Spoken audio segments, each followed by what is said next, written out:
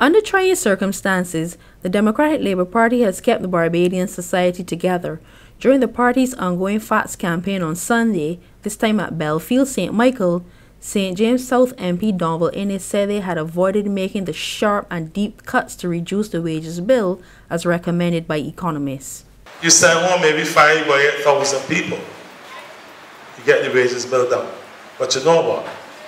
The costs to control crime and order in this country will go up. The immense pressure that we place upon the public health care system will immediately go up. The cost of education will go up.